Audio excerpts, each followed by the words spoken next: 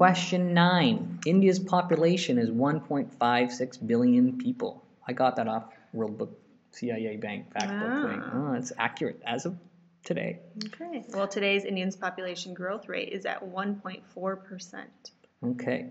So, If the population of India in the year 2010 represents the first term, and the second term, 2011, etc. right. So, assuming the growth rate is constant, right the first three terms. Well, U1, that's the easy one, is 1.156. Let's just assume it's in billions. We don't need to write that Right. I'll just help put little billions at the beginning here. Billion. Bill. Okay, U2. Well, how do I gonna get 1.156? And I'm gonna multiply it by the growth rate. 1.014. Or is that 1.14? What's the difference, Miss Flynn? Hmm.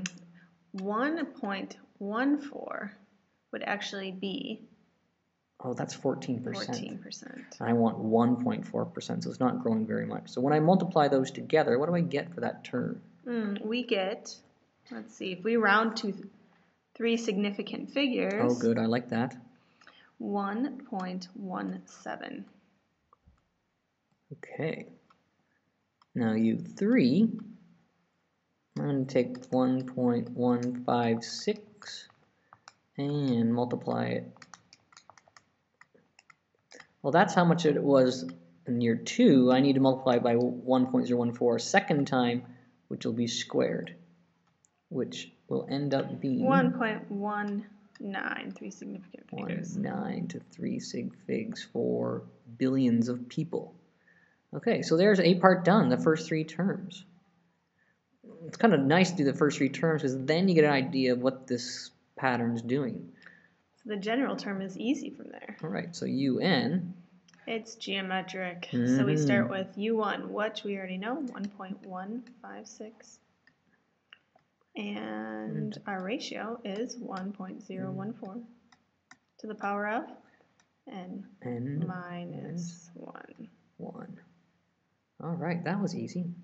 That's we're just already plug in- on number C. Right, there's a, C. one easy point. Okay, let me extend the page a little bit. And, mm, All right, letter C says, in what year will Indians' population reach 1.5 billion people? Stop. Okay, here we go. Reach 1.5 billion people. Hmm. So I want to find n to do that. So if I want it to be 1.5, I'm going to un be 1.5, and I'm going to let it equal to the general equation. 1.014 to the n minus 1. Uh-oh.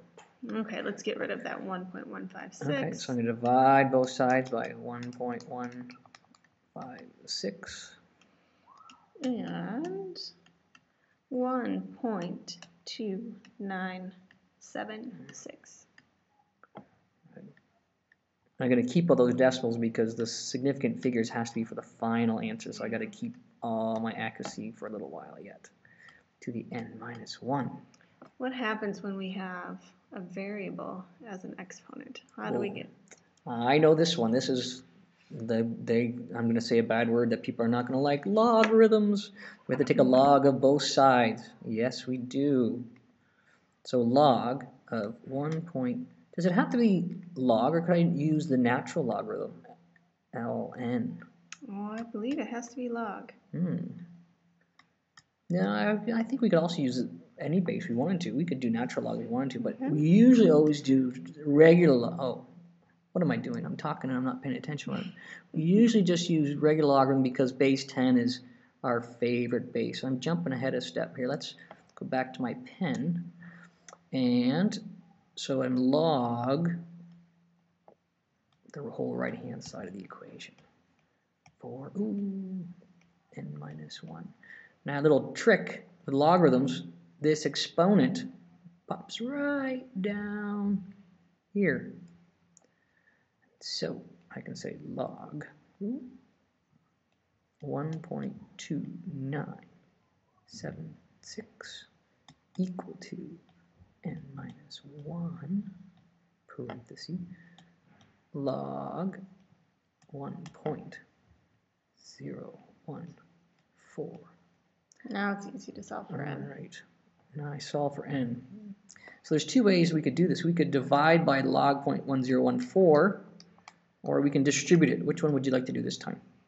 Hmm. I was thinking the easy way. Okay, I'd like to divide the logs, get rid of them. Yeah.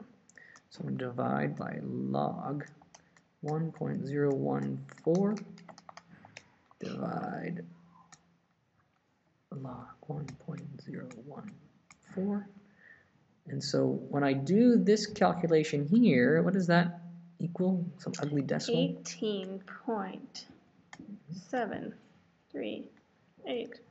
8 which is equal to minus 1 We're not done. Don't forget the minus one. all right I gotta add the 1 so n is then 19.7 Three that's sig figs. That's the three sig figs right here. Uh, this That's is not our answer though. no, this is the part of the question I always hate because I have to try and make that into a year, and I get so confused about which year is which.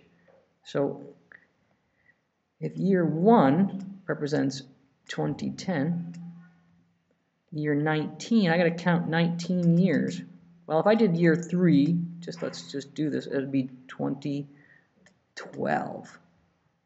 That's year three because it's always one less. So mm-hmm. 19, year 19 is going to be 20, Eighteen. 20, Oh, 28. Eight. 20. right, because we've got an extra 10. So in the year 2028, that will, 19.7 will happen in this year, probably around September.